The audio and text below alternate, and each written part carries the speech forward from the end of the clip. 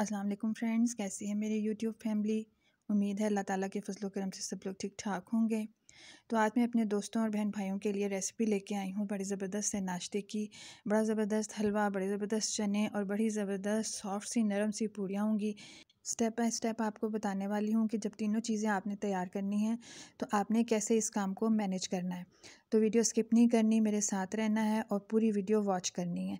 देखिए पूड़ियाँ कितनी ज़बरदस्त हैं देख कर ही खाने को दिल कर रहा है ना? तो ऐसी ही ज़बरदस्त पूड़ियाँ तैयार करेंगे। तो चलिए सबसे पहले स्टार्ट करते हैं पूड़ियों से ही। मैदा लिया है हमने दो कप। और उसको अच्छी तरह छान लेंगे। अभी एक कप मैंने लिया है, और इसको मैं अच्छा सा छान लूँगी, और उसके बाद दूसरा कप भी लेके छान लूँगी। जो जो चीज़ें ऐड करूँगी, आपने नोट करते जाना है। वीडियो को कहीं से भी स्किप नहीं करना, ताकि कोई भी पॉइंट ऐसा ना हो जो आपसे मिस हो जाए और फिर आपको परेशानी का सामना हो। अब मैंने दूसरा भी कप ले लिया, मैदे का, उसको भी मैंने छान लिया अच्छी तरह छान कर उसमें एक छोटा चम्मच नमक का शामिल करेंगे, और इसमें मैं थोड़ी सी अजवाइन भी शामिल करूँगी। मैदे के मुताबिक आपने थोड़ी सी अजवाइन शामिल कर लेनी है। मैंने ये साफ़ करके और बोतल में इसको डाल के महफूज किया हुआ है। और नमक और अजवाइन ही शामिल की है। हमने अभी मैदे में इसको हाथों के साथ अच्छा सा मिक्स कर लेंगे ताकि सब चीज़ें जो हैं वो इक्वली मिक्स हो जाएँ। और उसके बाद हमने इसको सादे पानी से गूंद लेना है। पूड़ियाँ बनाने के लिए हमने मैदे में और कोई चीज़ शामिल नहीं करनी। सिर्फ़ नमक और अजवाइन शामिल किया है। अजवाइन मैंने अपने शौक़ से शामिल किया है। मुझे इसका टेस्ट बहुत अच्छा लगता है पूड़ियों में। और सादे पानी से इसको अब हम गूँधने लगे हैं। और बिल्कुल नॉर्मल तरीके से गूँधेंगे बिल्कुल ऐसे जैसे हम आटा गूँधते हैं। और थोड़ा थोड़ा करके पानी डालेंगे, लेकिन इसकी जो डो है वो आटे से थोड़ा डिफरेंट होती है, क्योंकि जो गंदम का आटा होता है उसको तो हम हैंडल कर लेते हैं, लेकिन मैदे को हैंडल करना थोड़ा डिफ़िकल्ट होता है। आपने थोड़ा थोड़ा करके पानी डालना है। और मुझे आपने फॉलो करते जाना है कि मैं कैसे इसको गूँध रही हूँ। थोड़े से पानी के साथ ही आपने इसकी बाइंडिंग शुरू कर देनी है और उसको अच्छी तरह बाइंड करते जाना है। और जब तक कि ये पूरी तरह बाइंड ना हो जाए, हमने पानी थोड़ा थोड़ा ही शामिल करना है और उसके बाद इसको एंड में हमने आटे की तरह गूँध के रख लेना है। बस इसका एक यही तरीका है। और अगर आपको लगे कि जो मैदा है वो आपके हाथों को चिपकता जा रहा है तो आपने थोड़ा सा मैदे को ही खुशके के तौर पे इस्तेमाल करना है और ज़रा सा बिल्कुल ऑयल हाफ़ चम्मच जितना लेके आपने उससे ग्रीजिंग कर लेनी है हाथों की या कि अपने बर्तन की, ताकि मैदा जो है वो आप उसको हैंडल कर सकें। बस हमने अभी मैंने आपको सिर्फ़ ये तरीका बताया, लेकिन मैंने अभी ऐसे किया नहीं है। और मैंने पानी के साथ ही इसको गूंदा है और अच्छी तरह इसकी बाइंडिंग करके अब मैं इसको पंच कर रही हूँ जैसे नॉर्मली आटे को गूंदते अच्छी तरह इसको पंच करेंगे थोड़ा इसको टाइम देंगे, पाँच एक मिनट तक इसको पंच करके इसको गूंदेंगे और उसके बाद इसका अच्छा सा पेड़ा बना के हम इसी बर्तन में रख देंगे और इसको थोड़ी देर के लिए स्टे देंगे।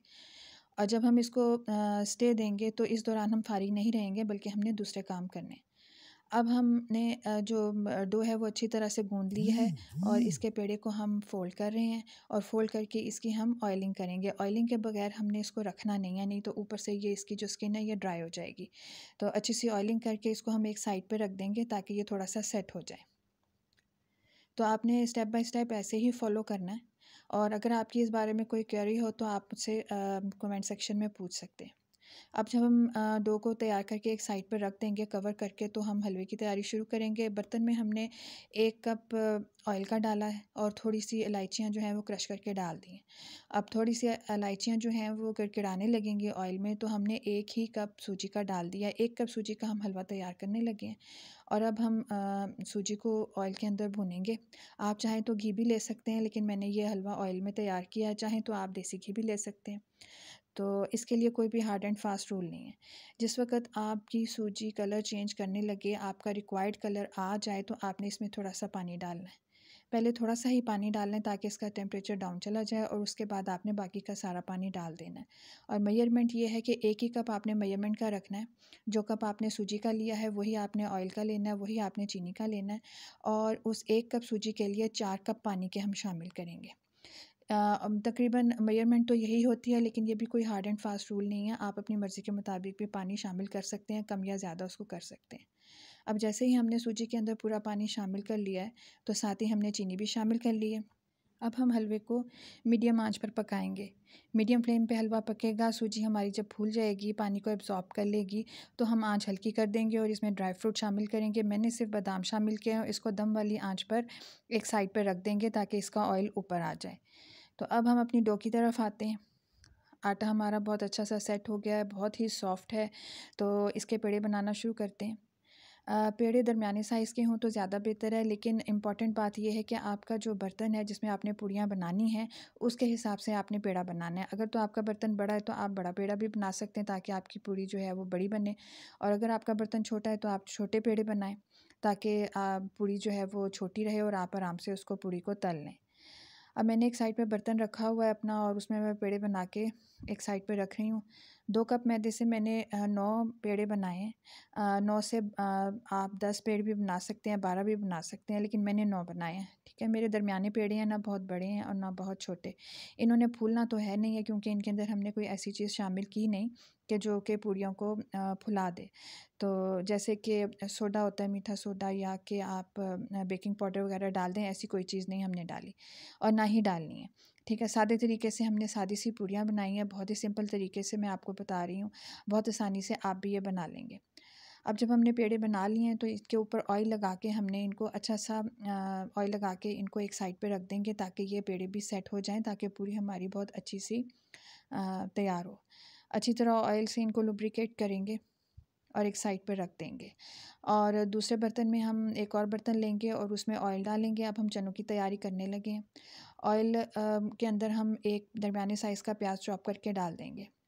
चने तैयार करने के लिए मैंने दो कप चने लिए हैं और उनको ओवर द नाइट पानी में सोडा डाल के भिगो दिया था और सुबह फ्रेश पानी में मैंने उनको बॉईल कर लिया था।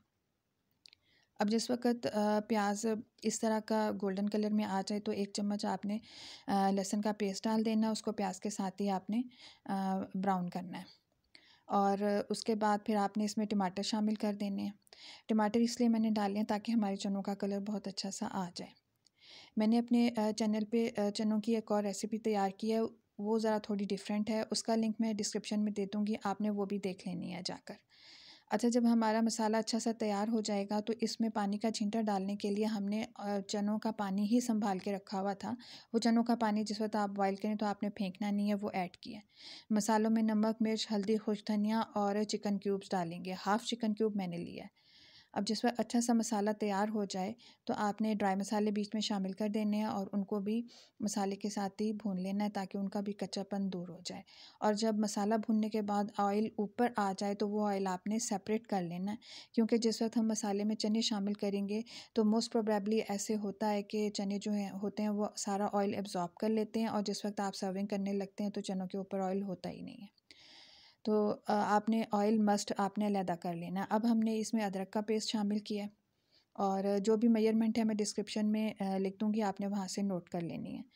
अब अदरक का पेस्ट शामिल करके इसको भी हम अच्छी तरह भूनेंगे। जिस वक्त हमारे मसाले की बुनाई अच्छी सी हो जाएगी तो ऑयल आपने मस्ट अलहदा कर लेना है और उसके बाद चने जो मैंने बॉईल करके रखे हुए हैं, उनको मैं इस मसाले में शामिल कर लूँगी और इनका जो पानी था वो मैंने संभाल लिया था। आपके सामने मैंने थोड़ा सा शामिल किया मसाले के अंदर और इस मसाले की ग्रेवी बनाने के लिए भी मैं चनों का पानी ही शामिल कर रही हूँ। एक गिलास मैंने इसमें चनों का पानी शामिल किया और अब चनों को अच्छी तरह से मैं मिक्स करूँगी मसाले के अंदर और लकड़ी का चम्मच मैंने इसलिए लिया है ताकि मैं चनों को अच्छी तरह से मैश कर सकूँ। चने अच्छी तरह से गले हुए हैं, उनको मैश करना बहुत ही आसान है। चनों को ग्राइंड करके डालने का इसमें मैंने कोई भी ऐसा सिस्टम नहीं किया क्योंकि चने हमारे अच्छे से गले में उनको ग्राइंड करने की ज़रूरत नहीं है। बाज़ लोग करते हैं ना थोड़े से चने बचा के उसको ग्राइंड करके बीच में मसाला डाल देते हैं। आ, मसाला बनाने के लिए उसको बीच में ऐड कर देते हैं तो ऐसा कुछ भी आ, करने की ज़रूरत नहीं है। चने आप देख लें माशाला से क्लोज़अप कितने अच्छे से तैयार हो गए हैं। तो अब चने भी हमारे तैयार हैं तो एक साइड पर उनको रख देते हैं और पूरी की तैयारी करते हैं। पूड़ियों का एक पेड़ा मैंने लिया है, उसको काउंटर पे थोड़ी सी ग्रेजिंग किया ऑयल डाल के और उसको मैं हाथों के साथ ही प्रेस करके बड़ा कर रही हूँ। कुछ भी आपको बेलन या रोलर इस्तेमाल करने की ज़रूरत नहीं है। ये इतना सॉफ्ट आटा है ना कि ये हाथ के साथ ही काउंटर पर फैलता जाएगा। आपने इक्वली इसको काउंटर पर फैला देना है। और जब अच्छी सी आपकी पूड़ी तैयार हो जाए तो ऑयल जो है वो आपने पहले ही चूल्हे पे गर्म होने के लिए रख देना है।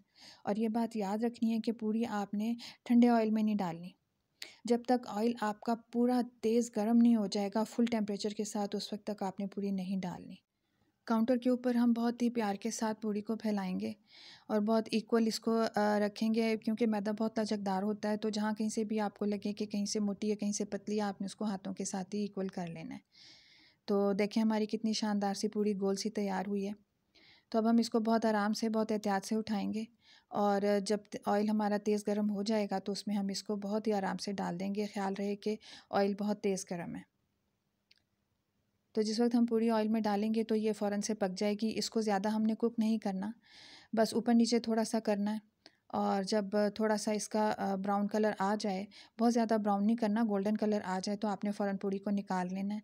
इससे ये पूरी सॉफ्ट रहेगी। अगर आप ज़्यादा इसको कुक करेंगे तो ये सख्त हो जाएगी, हार्ड हो जाएगी, फिर खाई नहीं जाएगी। तो ये देखिए कितना अच्छा सा कलर आ गया है तो इसको अब हम एक साइड पर निकाल लेते हैं। बस ये बहुत जल्दी से ऑयल के अंदर पक जाती हैं, इनको ज़्यादा टाइम नहीं लगता। तो अब मैंने आपके आसानी के लिए एक और पेड़ा लिया है और उसको मैं फैला रही हूँ काउंटर के ऊपर ही। तो आप देखते जाएँ। बस ऐसे ही आपने भी तैयार करना है और बहुत आराम से आप ये सब चीज़ें तैयार कर लेंगे। मज़ेदार सा नाश्ता तैयार करके ख़ुद भी इंजॉय करें, अपनी फैमिली को भी इंजॉय कराएँ। और मुझे पूरा यकीन है कि आप अगर इस तरह का नाश्ता तैयार करेंगे तो आप बाज़ार से मंगवाना भूल ही जाएँगे। बाज़ार से बदर जहाँ बेहतर आप घर में साफ़ सुथरे तरीके से इसको तैयार कर सकते हैं। और इस वक्त जब पूरी जो है वो मेरी डी शेप हो रही है, लेकिन इससे आपने परेशान नहीं होना। क्योंकि ये जिस वक्त ऑयल में जाके फ्राई होगी तो बिल्कुल पता नहीं चलेगा कि ये डी शेप थी। तो देखा आपने कि हमने कितने आराम से हलवा भी तैयार कर लिया और चने भी तैयार कर लिए और आराम से आटा गूंद के हमारी पूड़ियाँ भी अब कितनी अच्छी से तैयार हो रही हैं। तो अपने हाथ से तो कोई चीज़ बना कर खाने का और खिलाने का तो मज़ा ही कुछ और है। तो आपने इसको ज़रूर ट्राई करना है। और मुझे फ़ीडबैक देना है और मेरे साथ ही रहना है, अभी मैं कहीं भी नहीं जा रही। अभी मैं एक और पूड़ी बनाऊँगी और आपको दिखाऊँगी, ताकि आप अच्छे से सीख जाएँ। और इसको ज़रूर ट्राई करना है आपने और मुझे बताना है कि आपको कैसा लगा। मैं सिर्फ़ यही कहना चाहूँगी कि मैं कोई शेफ़ नहीं हूँ, बहुत एक्सपर्ट नहीं हूँ खाना बनाने में, सादे तरीके से घर में खाना बनाती हूँ और मैं ये कोशिश होती है कि जो कुछ मुझे आता है मैं आप लोगों को सिखा दूँ। तो अब एक और मैं पूड़ी बनाऊँगी, इसको देखिए आप। कैसे मैं इसको शेप दे रही हूँ? और ये बहुत आसान है, मुश्किल नहीं है। बस कोई भी काम करें तो वो करने से पहले मुश्किल लगता है, लेकिन जब हम उसको कर लेते हैं तो फिर वो हमारे लिए आसान हो जाता है। तो आपने इसको ट्राई ज़रूर करना है। मेरी वीडियो अच्छी लगी हो तो इसको थम्स अप दें और अगर मेरे चैनल पे नए हैं तो मेरे चैनल को सब्सक्राइब करें और वीडियो को शेयर करना कभी ना भूलिएगा।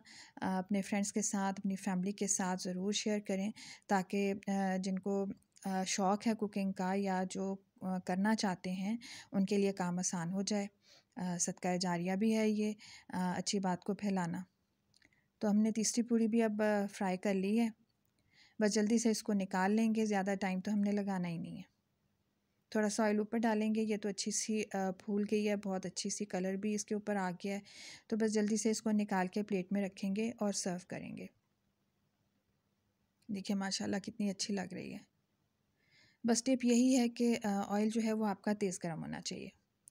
अब हमने सब चीज़ें डिश आउट कर दी हैं, जिन्हें भी माशाल्लाह कितने अच्छे से हैं, जो हमने सेपरेट ऑयल किया था वो इनके ऊपर डाल दिया है और हरी मिर्च के साथ इसको गार्निश कर लिया हलवा हमारा देखें कितने अच्छे से कलर का है, सॉफ्ट लुक के साथ दानेदार नज़र आ रहा है और बहुत ही मज़ेदार, यमी लुक है इसकी, खाने में भी बहुत ही मज़ेदार इन ताला।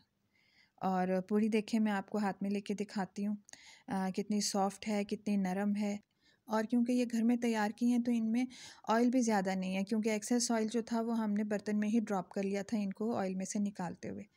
और अभी मेरे हाथ में एक में मोबाइल है और एक हाथ से मैं आपको पूरी दिखा रही हूँ, नहीं तो मैं आपको नीचे वाली पूरियाँ भी दिखाती हूँ, वो भी इसी तरह बहुत सॉफ्ट बनी है। तो अभी हम खाना ट्राई करते हैं जो हमने तैयार किया है, बहुत ही नरम पूरी और बहुत ही मज़ेदार यमी सा हलवा। और आप यकीन करें, इतना मज़ेदार परफेक्ट टेस्ट के साथ चीनी भी आप देखें, सूजी भी आप देखें ऑयल भी बहुत ही परफेक्ट और बहुत ही मज़ेदार टेस्टी था ये। बहुत मज़ा आया खाने का। और अब मैं चने टेस्ट करूँगी। माशाल्लाह चनों की लुक ही इतनी मज़ेदार है। ये वाले लुक के चने मुझे बहुत पसंद हैं। ये सिर्फ़ टमाटर से ही आते हैं। अदरवाइज़ ये कलर नहीं आएगा। अगर आप टमाटर नहीं डालेंगे तो चनों का ये कलर कभी भी नहीं आएगा। तो मुझे सब्सक्राइब करना बिल्कुल भी ना भूलिएगा, वीडियो को शेयर करना बिल्कुल भी ना भूलिएगा। वीडियो अच्छी लगी हो तो इसको लाइक कीजिएगा। मिलते हैं एक और रेसिपी के साथ। अल्लाह हाफिज़।